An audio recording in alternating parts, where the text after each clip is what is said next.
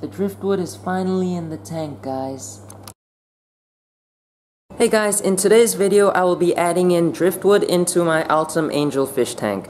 Um, but before that, if you're new here, please make sure to hit that red subscribe button below and also make sure to give this video a thumbs up. It will help me out a lot. So let's get right into this. So this is my Altum Angel fish tank. It is a 2 by 2 by 3 feet tall tank.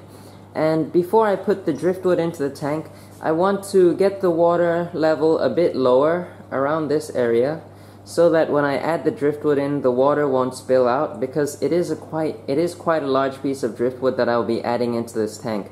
So I might as well do a quick water change and while the water level is low, I will quickly add in the driftwood and then top the tank back up.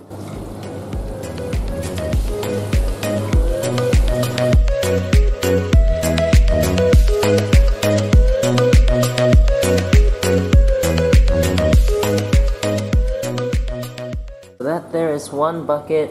Um, I'm gonna do another one. I could put the wood in now, but I'll do another one so that they can get more water change.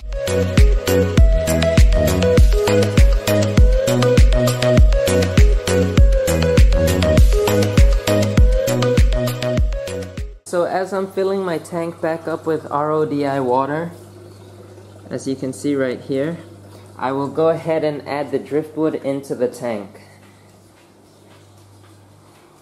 So this is my driftwood that I just washed. So I've got my two nice driftwood here, very heavy. I'll just put that down right here. And then we'll put this into the tank. Hey